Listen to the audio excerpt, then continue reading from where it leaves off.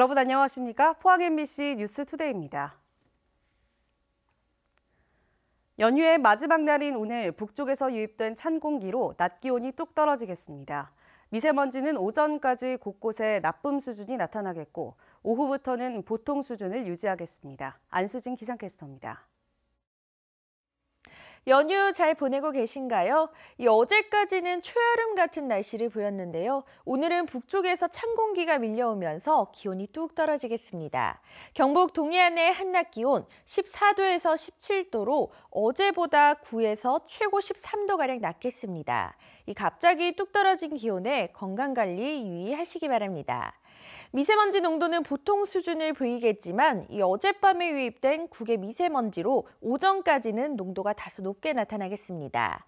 울릉도와 독도에는 강풍주의보가 발표됐고요. 동해 남부 앞바다에는 풍랑 예비특보가, 그 외 동해상으로는 풍랑주의보가 발효됐습니다. 이 점 유의하시기 바랍니다. 자세한 지역별 날씨 알아보겠습니다. 오늘 흐리다가 오후에 구름이 걷히겠습니다. 낮 기온 울진 14도, 영덕과 경주가 17도, 포항 15도입니다.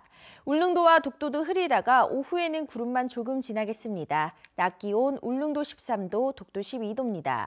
동해 앞바다에는 오전에 곳곳에 빗방울이 떨어지겠고요. 그 외 동해상으로는 구름만 많겠습니다. 바다의 물결 동해 중부 해상에서 최고 4m, 동해 남부 해상에서 최고 3.5m까지 일겠습니다. 주 후반까지는 맑고 따뜻한 날씨가 이어지겠습니다. 날씨였습니다. 형산강 연등문화축제가 경주 금장대 앞 형산강 둔치에서 열려 유등 전시와 제등 행렬 등 다양한 행사가 이어졌습니다. 올해는 형산강을 직접 건널 수 있는 부교가 설치됐고 오는 17일까지 형산강 연등숲은 불을 밝힐 예정입니다. 임재국 기자가 보도합니다. 밝고 화려한 유등의 불빛이 형산강에 아름답게 들이웁니다. 금장대에서 강 둔치에 이르는 숲에는 크고 작은 수만 개의 등불이 은은하게 이어집니다. 형산강 위에는 석가탑 등 다양한 모형의 장엄등과 수상 등이 꾸며졌습니다. 연등 보고 또 여기에 차려는 환경이나 또 이 자체의 이 형산강을 보고 또 저 금장대를 보고 하니까 옛날 신라 때의 모습이 올해 축제 행사장에는 소원을 적어 비는 연등 터널과 함께 형산강을 가로지르는 부교를 임시로 세워 새로운 볼거리가 됐습니다. 부교를 건너면서 어, 연등숲을 관람할 수도 있고 또 소동 유등 띄우 소원 유등 띄우기를 통해 가지고 어, 부교 위에서 어, 함께 축제를 즐길 수 있는 그런 기회를 제공했습니다. 신라 시대에 시작된 연등회를 현대적인 의미로 재해석한 이번 축제에는 다양한 행사도 함께 열렸습니다. 연등 점등과 개막 축하 공연을 비롯해 연등 문화 페스티벌이 열렸고 불교 신도와 시민 등이 참여한 재등 행렬이 시가지에서 이어졌습니다. 화려한 형산강 폭죽쇼가 마지막 날 열렸고 대학생과 시민들이 형산강 살리기 정화 활동과 캠페인도 벌였습니다. 경주 시민들과 어, 불자들 그리고 학생들이 어우러지는 어, 새로운 그 축제 문화의 지평을 열고자 기획을 하였습니다. 어, 그래서 경주에서 전통 축제로 자리매김하도록 이번에 사용된 유등과 장엄 등은 오는 6일까지 전시되고 형산강 연등숲은 오는 17일까지 불을 밝히게 됩니다. MBC 뉴스 임재욱입니다.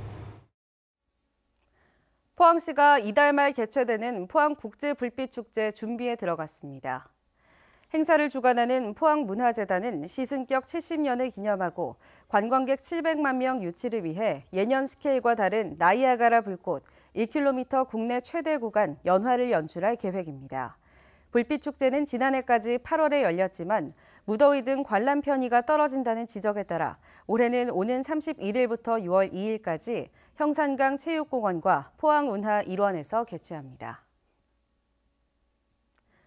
경북 보건환경연구원이 지난해 250개 토양 환경오염 우려 지역을 조사한 결과 12개 지점이 기준을 초과한 것으로 나타났습니다. 토양 환경 오염 기준을 초과한 지점은 오염 원인자가 토양 정밀 조사를 하고 오염된 토양의 복원과 정화 사업을 해야 합니다. 경북 보건환경연구원은 해마다 산업단지와 공장지역, 공장 폐수 유입지역 등 16개 지역으로 구분해 중금속과 유류 등 토양오염 우려 기준 22개 항목에 대한 실태 조사를 하고 있습니다. 대형 서점 또 인터넷 서점의 확대로 동네 서점이 하나둘 사라지고 있습니다. 이 작은 서점들을 살려보자며 경상북도가 지원 조례까지 만들었지만 실제 현장에선 유명무실한 것으로 드러났습니다. 홍석준 기자입니다. 올해 연말 도청 신도시에 문을 여는 경상북도 대표 도서관입니다. 최근 이 도서관에 비치할 도서를 구매하는 입찰 공고를 경상북도가 냈는데 전국 단위 대형 서점과 총판만 참여가 가능하도록 엄격한 자격을 내걸면서 지역 서점의 입찰이 사실상 막혀버렸습니다. 입찰 규모는 총 9억여 원. 오랜 경영난에 작은 숨통이라도 터줄 것으로 기대했던 동네 서점들은 실망감을 감추지 못했습니다. 2014년도 지역 서점 활성화 법안이 통과되면서 도서는 예외 규정으로 두고 있습니다. 근데 이 10억에 대해서 단 1원도 저희들한테 혜택이 없고 참가조차 못하는 이 원천 봉쇄해 놨다는 것에 대해서는 저희들이 납득이 가지 않습니다. 도대체 왜 이래 됐는지 2년 전 의원 발의로 제정된 경상북도 지역 서점 활성화 조례는 동네 서점 지원책 발굴을 도지사의 책무로 규정해 두고 있습니다. 이를 강제하기 위해 도지사가 3년마다 지원 계획을 수립 시행하도록 했지만 전혀 지켜지지 않고 있는 겁니다. 이러다 보니 매장 없이 서류만 등록을 한 이른바 페이퍼 서점이 공공도서 입찰을 가로채는 일마저 벌어집니다. 경상북도는 입찰 규정상 지역 제한이나 분리 입찰이 쉽지 않고 페이퍼 서점 문제는 시군에 계도 공문을 보냈다고 해명했습니다. 추후에 신간 구매가 있습니다. 신간 구매에 대해서는 심도 있게 고민을 많이 해서 이분들이 보호를 받을 수 있도록 사실적인 경영이라든가 지원이 될 수 있는 측면을 한번 고려를 해가지고 적극적으로 저희들이 검토해서 정부는 수년 전부터 공공기관의 도서 구입에 지역 서점 이용을 당부하고 있습니다. 관련 조례 제정도 이어지고 있지만 정작 행정 일선에선 헛구호에 그치고 있습니다. MBC 뉴스 홍석준입니다. 울진에서 누군가 길고양이의 몸에 유해 물질을 붙이는 등 지속적으로 학대한 정황이 포착됐습니다. 울진에 사는 A씨는 지난달부터 자신의 집을 종종 찾는 길고양이의 몸에서 청테이프와 본드, 파란색 페인트가 잇따라 발려 있고 대형 폐기물 배출 스티커까지 붙어 있는 것을 발견하고 트위터에 사진과 함께 글을 올렸습니다. 이 글은 현재 2만 5천 회가 넘는 리트윗을 기록하고 있고 가해자를 잡아 동물 학대로 처벌해야 한다는 댓글도 잇따르고 있습니다. 세계 최대 돼지고기 소비국인 중국에서 아프리카 돼지열병이 확산되면서 국내 돼지고기 값도 들썩이고 있습니다. 축산유통종합센터에 따르면 올해 4월 평균 돈육 대표 가격은 킬로그램당 4,571원으로 3월 평균가인 3,906원보다 17%가량 올랐습니다. 업계에서는 대형 유통업체들의 수입산 돼지고기 재고 물량이 떨어지는 보름에서 한 달 뒤부터 돼지고기 값 인상 추세가 본격화할 것으로 보고 있습니다. 과거 공직하면 연상되던 향응 접대 비리, 대구에서는 아직 청산을 못한 듯합니다. 공직사회가 온갖 비리 의혹에다 말썽이 일면서 권영진 대구시장이 엄중 경고하는 단계까지 왔습니다. 보도에 박재영 기자입니다. 권영진 시장은 정례 직원 조회에서 공직자로서 가장 중요한 것은 청렴이라며 작심 발언을 시작했습니다. 업무와 연관된 향응 접대, 성폭력 등은 공직사회 전체의 문제여서 동료가 신고해서라도 막아야 한다고 했습니다. 비리에 연루되거나 부정부패에 연루되면은 그 개선 라인에 있는 연대 책임을 묻는 제도 그리고 적어도 그 해당 과에 연대 책임을 묻는 제도를 강구하도록 할 겁니다. 대구시 공직자와 비리에 연루되는 업체는 앞으로 대구시청 업무를 아예 보지 못하게 하는 방안도 추진됩니다. 최근 비리가 잇따른 상황을 의식한 겁니다. 대구 수성구청 전 건축과장 A씨는 건축사나 현장 소장 등 17명에게서 골프 접대 등 1200만 원의 향응을 받은 혐의로 구속 기소됐습니다. 그 대가로 인허가와 준공검사에서 편의를 제공했습니다.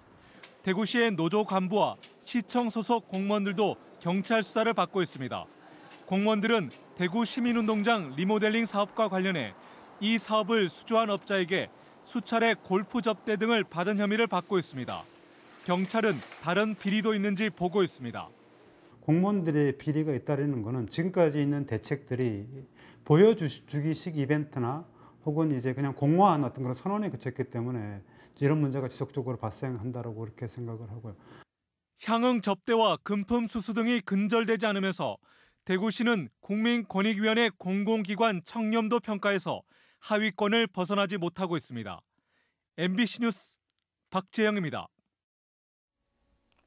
일회용품 사용을 줄이는 업체에 인센티브를 제공하는 내용을 담은 조례안이 경북 도의회에서 발의됐습니다. 더불어민주당 비례대표 김영선 의원은 최근 개최된 도의회 임시회에서 일회용품 사용을 줄인 업체를 도에서 환경 우수 업체로 지정해 지원할 수 있도록 하는 경상북도 일회용품 줄이기 지원 조례안을 대표 발의했습니다. 일회용품 사용을 줄이기 위해 노력하는 업체뿐만 아니라 단체까지 지원할 수 있는 내용을 함께 담았습니다.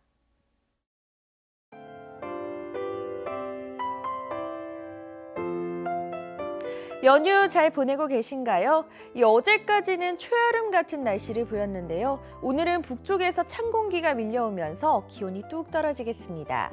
경북 동해안의 한낮 기온 14도에서 17도로 어제보다 9에서 최고 13도가량 낮겠습니다. 이 갑자기 뚝 떨어진 기온에 건강관리 유의하시기 바랍니다.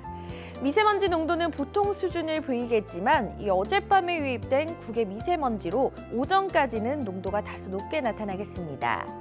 울릉도와 독도에는 강풍주의보가 발표됐고요. 동해 남부 앞바다에는 풍랑 예비특보가 그 외 동해상으로는 풍랑주의보가 발효됐습니다. 이 점 유의하시기 바랍니다. 자세한 지역별 날씨 알아보겠습니다. 오늘 흐리다가 오후에 구름이 걷히겠습니다. 낮 기온 울진 14도, 영덕과 경주가 17도, 포항 15도입니다. 울릉도와 독도도 흐리다가 오후에는 구름만 조금 지나겠습니다. 낮 기온 울릉도 13도, 독도 12도입니다. 동해 앞바다에는 오전에 곳곳에 빗방울이 떨어지겠고요. 그 외 동해상으로는 구름만 많겠습니다. 바다의 물결 동해 중부 해상에서 최고 4m, 동해 남부 해상에서 최고 3.5m까지 일겠습니다. 주 후반까지는 맑고 따뜻한 날씨가 이어지겠습니다. 날씨였습니다. 이상으로 포항 MBC 뉴스투데이를 마칩니다. 여러분 고맙습니다.